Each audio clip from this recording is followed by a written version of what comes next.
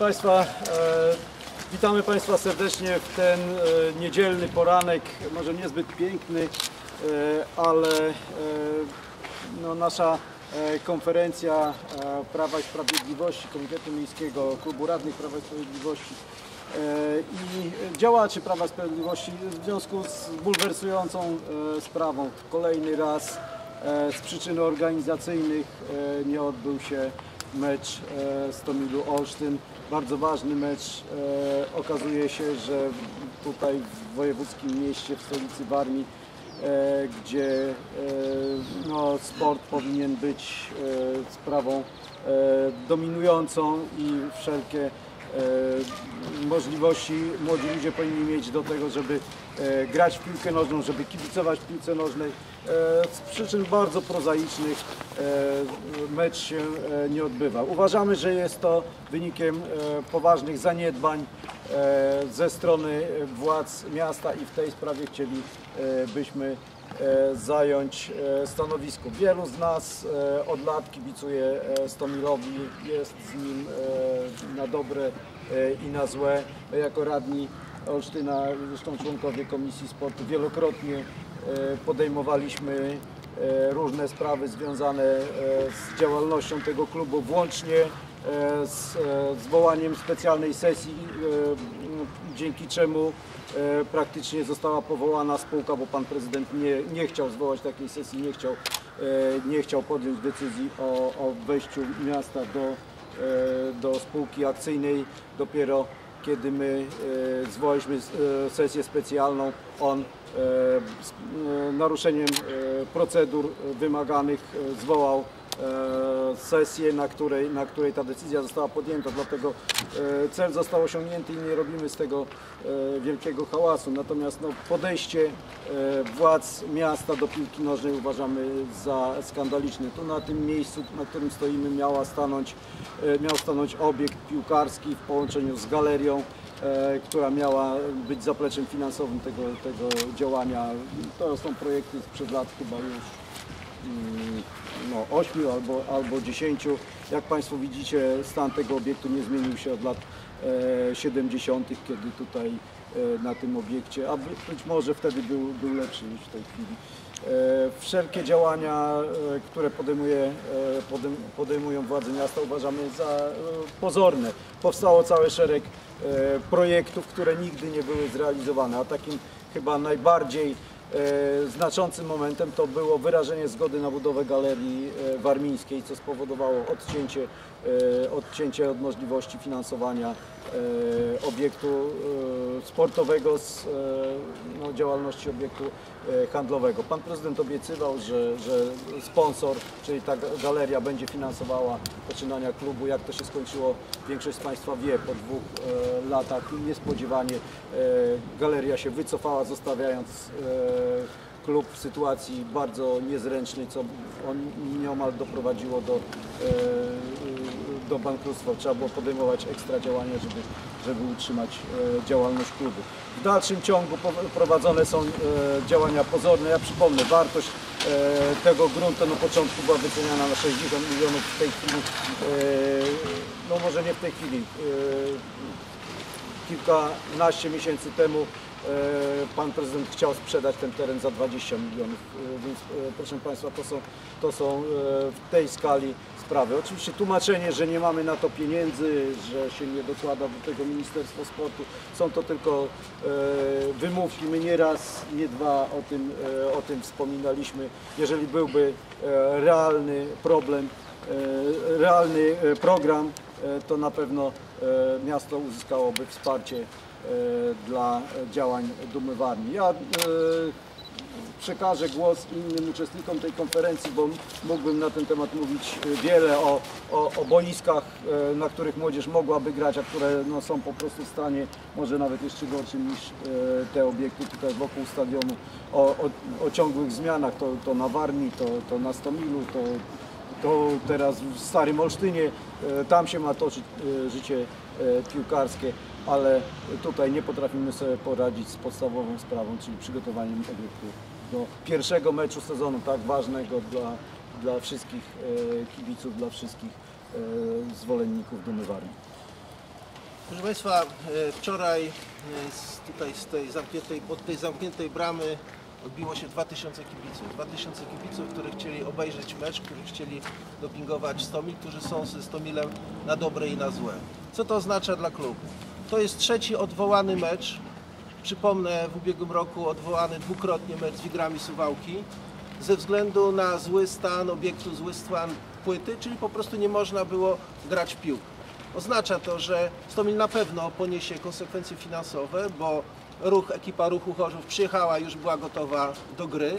To też może oznaczać niestety również e, karne punkty, a więc walkover, e, który może być niestety zasądzony przeciwko klubowi, a to może oznaczać tak naprawdę, że klub Stomil Olsztyn stanie się w bardzo trudnej sytuacji.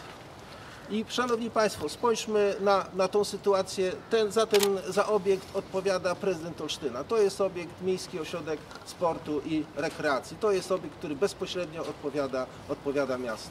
Pan prezydent Grzymowicz od 2001 roku pełni swoją funkcję, pełni funkcję wiceprezydenta, prezydenta miasta i tak naprawdę zawsze odpowiada za ten wymiar organizacyjny, za wymiar rozwojowy, za wymiar infrastrukturalny. Dzisiaj w Olsztynie tak naprawdę nie mamy trawiastego, pełnowymiarowego boiska, na którym można grać w piłkę nożną. To jedyne, które znajduje się tutaj na stadionie przy Piłsudskiego, okazuje się, że nie jest zdolne do gry. Nie ma, podkreślam, żadnego pełnowymiarowego, trawiastego boiska do gry w piłkę nożną w mieście wojewódzkim, który ma drużynę pierwszoligową, proszę Państwa. Przypomnę, smutny los stadionu Leśnego, smutny los stadionu Warmii, smutny los stadionu przy Gietkowskiej, plus szereg innych boisk, które trawiastych, pełnowymiarowych, które zniknęły w czasie prezydentury Piotra Grzymowicza z, tak naprawdę z naszego, z naszego miasta. Zniknęły jako obiekty sportowe, jako obiekty do, do gry w piłkę nożną na trawie. Oprócz e, naszej pierwszej drużyny, która jest bardzo zagrożona, jeżeli chodzi o, o funkcjonowanie w tych warunkach, gdy nie ma podstawowego, podstawowego, podstawowej rzeczy dla, dla klubu piłki nożnej, czyli nie ma stadionu, nie ma boiska, na którym można rozgrywać zawody. Przypomnę też, że za każdym razem przed rozpoczęciem rozgrywek 100 mil działacze Stomilu, prezes Stomilu, zarząd Stomilu toczy wielkie boje, żeby przekonać Polski Związek Piłki Nożnej, że tutaj w Olsztynie na tym stadionie przy Piłsudskiego można grać. To się co roku odbywa. To są rzeczy, które nie, nie rok, nie dwa, tylko co roku jest walka o to, żeby można było w ogóle tutaj grać. I gdy jest zatwierdzone, okazuje się, że grać nie można. Taka sytuacja jest dla nas, e, dla Prawa i Sprawiedliwości nie do przyjęcia. Mówimy to jasno i wyraźnie, że sprawa stadionu, sprawa obiektów sportowych, sprawa też i hali Urania, to będzie to, czemu poświęcimy, gdy przejmiemy władzę w Olsztynie, to będzie w centrum naszej uwagi. Obiecujemy, że rozpoczniemy realne działania od pierwszego dnia, od pierwszego dnia, gdy Prawo i Sprawiedliwość zwycięży w wyborach, a zwycięży tutaj w wyborach. Obiecujemy, że od pierwszego dnia podejmiemy realne działania, żeby tutaj wreszcie przy ulicy Piłsudskiego stanął taki stadion, w którym będziemy mogli grać normalnie i w pierwszej lidze, a potem w przyszłości w ekstraklasie, żebyśmy się nie musieli tego wstydzić, żeby te, to, co dzisiaj dzieje się e, z olsztyńską piłką nożną, aby to się wreszcie skończyło, żebyśmy mieli jasne bazę, dobrą bazę, żebyśmy mieli jasne perspektywy żebyśmy wiedzieli po co, e, po co jest też miasto, które powinno, jak jest jednym z podstawowych obowiązków, zapewnienie warunków do rozwoju sportu, rekreacji. Wspomnę też o, o młodych piłkarzach, którzy, których jest kilkuset w Olsztynie, którzy ciągle mają problemy, e, gdzie będą grali, gdzie będą trenowali. Treningi zmieniają się niemal e, z dnia na dzień, bo, bo nie ma hal, bo, bo nie są wpuszczania hal, bo nie ma boisk, bo nie ma bazy do tego, że do uprawiania sportu. To jest kilku, kilkuset młodych ludzi, którzy tak naprawdę są per noga traktowani przez e, Piotra Grzymowicza. Proszę Państwa, z całą pewnością w Olsztynie, mieście wojewódzkim jest miejsce na sport i z całą pewnością jest miejsce dla piłki nożnej na poziomie klasy rozgrywkowej co najmniej pierwszej ligi. Chciałbym, żeby to była również ekstraklasa, bo ta, taką historię Olsztyn ma. Proszę Państwa, stoimy dzisiaj y, na tle no, bardzo smutnego obrazu. Y, y, Powtórzę słowa, może trochę wypaczę je, prezesa Polskiego Związku Piłki Nożnej. To jest najsłynniejszy stadion Gruzowisko. Krąży też opinia, że to jest Estadio de la Gruz. My chcemy to zmienić, proszę Państwa. Y, Dalej tak być nie może. Jako przewodniczący Komisji Sportu nie możemy narażać miasta na pośmiewisko, bo stajemy się pośmiewiskiem. Miasto wojewódzkie y, y, nie ma porządnego stadionu. Nie będę tutaj przytaczał przykładów dużo mniejszych miast, które doskonale poradziły sobie z obiektami sportowymi. Patrz najbliższe miasto Ostruda. Tam nie tylko stoi piękny piłkarski obiekt, ale również i są obiekty innej klasy typu boiska do lekkiej atletyki. Niestety w Olsztynie panuje jakiś marazm. Odbieramy to jako celowe działanie, y, tym bardziej, że utworzona została spółka miejska Stomil Olsztyn. Dziękuję. Proszę Państwa, e, można by sobie zadać pytanie, dlaczego się tak dzieje, dlaczego takie, takie działania, a w zasadzie brak działań e, jest w Olsztynie.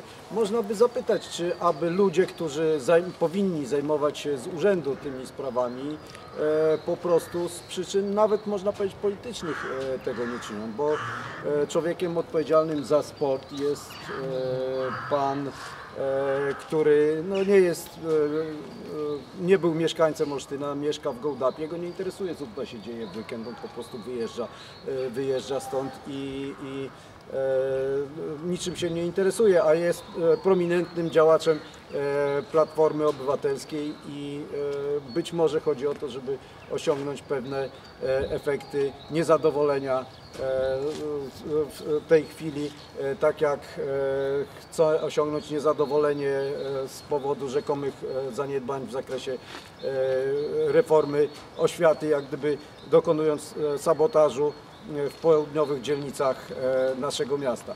Pan prezydent również no, ma 4 miliony dla działalności e, Miejskiego Ośrodka e, Kultury rocznie, 4 miliony na krzewienie różnego rodzaju działań o charakterze skrajnie nazwijmy to lewicowym. Natomiast no, dla tych ludzi takim poważnym, najpoważniejszym argumentem e, jest to, że rozwijamy wysoką kulturę, e, bo inaczej e, zdominują ją ludzie e, w dresach e, i e, e, chodzący na siłownię, e, czy też kibice e, brzydko zwani kibolami. E, Takie argumenty niestety e, padają również w gremiach e, no, rządzących na różnego rodzaju, e, na różnego rodzaju spotkaniach, e, które się odbywają w mieście i to są niestety argumenty, e, które mogą e, być e, przyczyną takiego podejścia e, do e, wszelkich e, działań związanych zwłaszcza z piłką nożną, bo, bo tutaj piłka nożna e, jest e, nacenzurowanym. No nie chciałbym już wspominać o, o e, działaniach e, człowieka, który w tej chwili jest w Brukseli, którego rząd mieli obalić e, kibole i o konsekwencjach tego postępowania. Niestety, no tak to, e, tak mamy wrażenie, to działa. Mm, Nie, e, nie bójmy się podejmować również tych, tych tematów, bo gdybyśmy się wzięli do tego systematycznie, do pracy, to w tej chwili ten, ten stadion już by, już by działał, młodzi ludzie mieliby gdzie e, trenować, a kibice mieliby gdzie obserwować e, sport e, na poziomie ekstraklasy.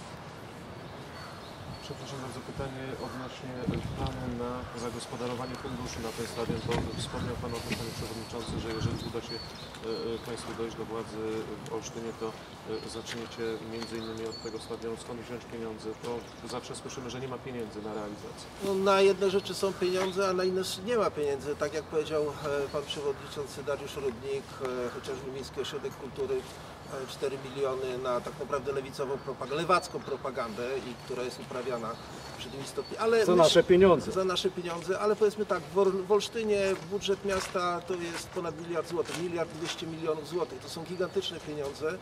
I jeżeli ktoś mi mówi, że nie można e, z tych, z tych pieniędzy wygospodarować kilku milionów, podkreślam kilku milionów, żeby realnie rozpocząć pracę, e, przede wszystkim nad modernizacją stadionu e, i przygotowaniem dobrej płyty na modernizację płyty, a potem po kolei, tak jak to jest w wielu miastach, było budowane łącznie e, z Wielkim Lechem Poznań, czy, czy z ŁKS-em Łódź, czy, czy w Krakowie, gdzie po prostu budowano trybuny po kolei, gdzie budowano etapowa, e, etapowa, etapowano e, te inwestycje i one nie, i one nie, kosztowują, nie kosztują naraz jakieś, jak padają kwoty 100 milionów czy 120 milionów złotych, to jest absurdalne. E, tylko są to kwoty, które można spokojnie w ramach normalnej funkcjonowania miasta, e, normalnie w ramach normalnego funkcjonowania miasta, przy wsparciu, rosnącym wsparciu sponsorów, e, tych, którzy chcą się zaangażować w te, w te inwestycje, można to osiągnąć. Proszę Państwa, zapytajcie Państwo Pana Prezydenta Grzymowicza, dlaczego znajduje się rokrocznie e, 500 tysięcy na finansowanie festiwalu, e, tak zwanego Green Festiwalu, zwanego czasami Grzym Festiwalem e, dla, dla Gazety Wyborczej, a nie ma, nie ma pieniędzy na to, żeby e, dofinansować e, 100 mil Olsztyn jako klub, czy też budowę obiektów. To nieprawda, że miasto, w mieście takie inwestycje muszą się spinać finansowo. Miasto ma swoje cele społeczne i do nich należy właśnie dbanie o zaplecze materialne, kultury fizycznej, e, sportu. Oczywiście kultura e, jest też ważna, bo e, żeby nie brzmiało w ten sposób, że my jesteśmy przeciwko rozwojowi kultury e, wysokiej w Olsztynie, jak najbardziej, e, ale e, to musi być rozwój e, równomierny. Każdy musi znaleźć tutaj coś e, dla siebie. I jeszcze jedno. E, Chcielibyśmy, żeby pieniądze, które są w budżecie miasta, te pieniądze, na które składamy się my wszyscy, e, były e, po prostu e, przeznaczane dla nas, dla mieszkańców Olsztyna głównie, a mam wrażenie w tej chwili, że większość tych pieniędzy idzie na finansowanie e, e, imprez dla przyjezdnych. E, Po prostu organizowane są imprezy, które rzekomo sławią Olsztyn e, w całym kraju, a tak naprawdę zarabiają na nich e, firmy prywatne, które organizują różnego rodzaju, e, różnego rodzaju e, imprezy, które nasze miasto dofinansowuje poprzez udzielanie im bezpłatnie, czy też za niewielką opłatą e, obiektów sportowych, na które my e, ze swoich, ze swoich podatków e, musimy ułożyć przez okrągły rok. My chcemy oczywiście wszystkich chętnych, e, e, którzy do Olsztyna przyjadą, gości, zapraszamy tutaj, e, ale e, to my tutaj żyjemy przez cały rok i my chcemy korzystać e, z tych e, pieniędzy, które e, w mieście są przeznaczone e, na działalność sportową. Jeśli Państwo macie pytania, oczywiście e, odpowiemy na, e, na nie bardzo chętnie. Czy są jakieś szanse na jakieś teraz na realne działania Prawa i Sprawiedliwości, jeżeli chodzi o ten stadion i, i murawy nie czekając do wyborów? Myślę tak, będziemy rozmawiali na ten temat e, z klubem radnych. Sytuacja rzeczywiście ta wczorajsza e, to, to jest jakieś horrendum. Mówię, 2000 kibiców odbiło się od zamkniętej ściany, od zamkniętych bram stadionu. E, I myślę, że w czasie na pewno najbliższej sesji ta sprawa będzie poruszona i myślę, że też że zostanie zgłoszony, będziemy na ten temat rozmawiać odpowiedni e, pro, projekt uchwały, które zobowiąże prezydenta Grzymowicza do podjęcia realnych działań, e, które będą zmierzały do wreszcie do realnego rozpoczęcia modernizacji budowy, czy modernizacji, czy budowy stadionu. Myślę, że tutaj e, nie będziemy się spierać o, o słówka, czy to modernizacja, czy budowa. Rzecz w tym, żeby tu wreszcie był taki stadion, który będzie, w którym normalnie będzie można rozgrywać zawody sportowe piłki nożnej. I, też w nawiązaniu, co powiedział Pan Przewodniczący Dariusz Rutki, proszę Państwa, ta informacja o tym, że po raz kolejny w Olsztynie nie odbył się mecz piłki nożnej, w tym świadku, w tym środowisku sportowym, które liczy miliony tak naprawdę ludzi, to jest, to jest fatalnie. To tutaj można potem wydawać duże pieniądze na budowę e, obrazu miasta, bo to właśnie ten wczorajszy obrazek, te 2000 ludzi, które odbiło się od zamkniętej bramy e, stadionu, to jest ten, e, to, to dopiero właśnie pokazuje tą, tą fatalny obraz naszego miasta, który jest budowany przez taką politykę. Interpelacja to rzecz oczywista. Myślę, panie e, przewodniczący e, Komisji Sportu, że również Komisja Sportu e, zwoła swoje posiedzenie w trybie nadzwyczajnym i zażąda od pana prezydenta wyjaśnień. A jeżeli chodzi o, o działania, no to proszę państwa, nie jest na, dla państwa, którzy znacie się na realiach olsztyńskiej piłki nożnej, jak wielki wkład tutaj rozwój bazy e, i e, powiedzmy e, załatwianie sponsorów dla, dla tego klubu ma e, pan e, e, prezes, e, minister e, Jerzy Schmidt. I e, znając jego zacięcie kibicowskie e, nie e, pozostanie bierny i e, zrobi wszystko uruchamiając e, swoje możliwości, swoje e, kontakty, e, żeby e, zabezpieczyć e, olsztyńskim piłkarzom możliwość e, po prostu funkcjonowania, bo do tego to się sprowadza. My cały czas jesteśmy na e, takim poziomie, ja to określam, że na nos tego klubu wystaje lekko na, na ponad wodę jeżeli e, tylko niekorzystny wiatr zawieje, to natychmiast fala e, zalewa nos i klub zaczyna tonąć. Taka sytuacja nie może e, mieć miejsca. E, Stać nas, du, duże miasto e, wojewódzkie na to, żeby, żeby zapewnić piłkarzom e, takie zaplecze materialne i takie finansowanie, żeby e, tutaj e, ten klub rozwijał się spokojnie. Dajmy e, im szansę, a wiemy, że wtedy e, są w stanie się odwdzięczyć i dobrymi wynikami, e, i dobrym działaniem marketingowym, co przekłada się na pozyskanie sponsorów. Wielkim znakiem zapytania jest też, dlaczego nie chce się angażować w e, 100 mil w piłkarstwo. No, duża fabryka, która mieści się e, no, tuż za rogiem, a w zasadzie po drugiej stronie e, ulicy. Też można byłoby e, chyba zadać takie pytanie, czy rzeczywiście to są tylko e, kwestie polityki firmy, czy też e, kwestie interpersonalne, że po prostu e, pan e, prezydent Grzymowicz nie potrafi e, rozmawiać, rozmawiać z tą fabryką o, o sprawach miejskich, tak jak, e, tak jak nie potrafi się dogadać co do e, budowy źródła światła, e, źródła ciepła dla Olsztyna.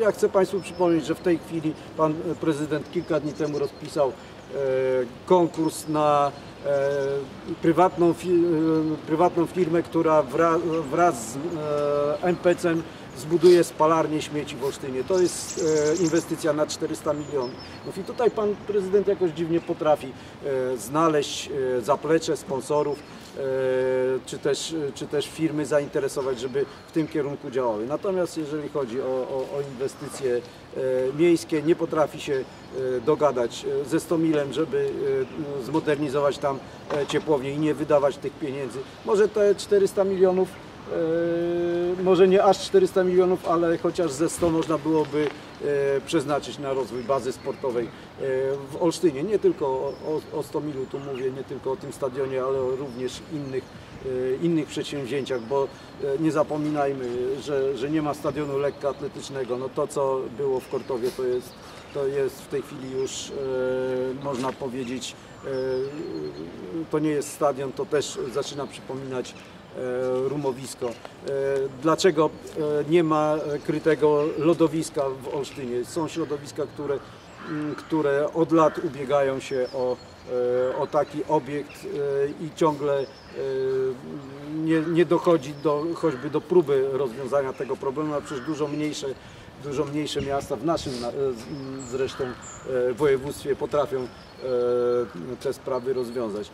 Widzimy, że nie ma tutaj po prostu ludzi, którzy strategicznie by do tego po- podeszli i też nie chcielibyśmy, żeby pracownicy, pracownicy miejskiego ośrodka sportu e, odnieśli wrażenie, że działamy przeciwko nim, czy mamy do nich pretensje, bo oni robią wszystko, co, co mogą, natomiast no, od e, mieszania herbata e, zazwyczaj nie robi się słodsza. Jeśli nie ma odpowiedniego wkładu, nie ma odpowiedniego podejścia, no to, no to niestety e, sytuacja jest taka, jaka jest. Dziękujemy.